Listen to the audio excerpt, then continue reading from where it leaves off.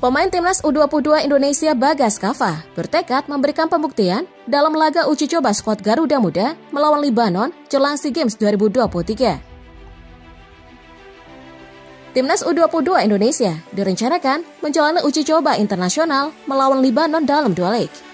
Pertandingan dijadwalkan berlangsung pada 14 dan 16 April 2023 itu sebagai ajang uji coba menuju SEA Games 2023. Laga ini digelar sebagai simulasi timnas U22 Indonesia sebelum bertolak ke Kamboja. Untuk itu, tim asuhan Indra Safri ini akan menjalani dua pertandingan melawan Libanon. Jelang menghadapi pertandingan uji coba ini, Bagas Kava pun bertekad memberikan pembuktian bahwa dirinya bisa bersaing dengan pemain lain. Bahkan ia bertekad menunjukkan kualitasnya dan siap untuk bisa memberikan yang terbaik buat tim Merah Putih. Pemain Barito Putra itu bahkan mengaku siap menjalankan arahan yang diberikan pelatih Indra Safri. Menurutnya, selama menjalani latihan sejak 1 April lalu, semua pemain telah menjalani latihan dengan baik.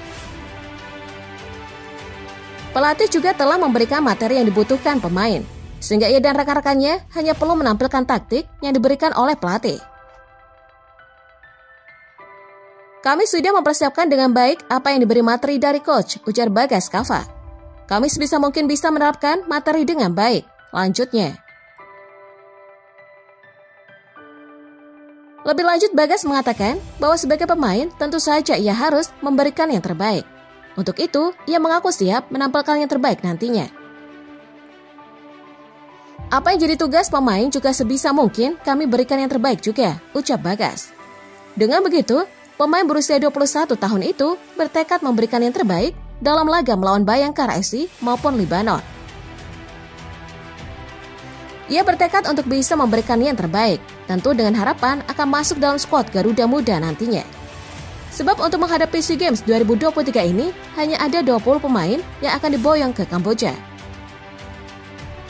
Hal ini karena aturan terbaru dari SEA Games 2023 hanya 20 pemain yang boleh masuk dalam daftar susunan pemain. Sementara itu untuk menghadapi ajang dua tahunan ini, timnas U22 Indonesia bergabung dalam grup A. Nah, bagaimana menurut kalian?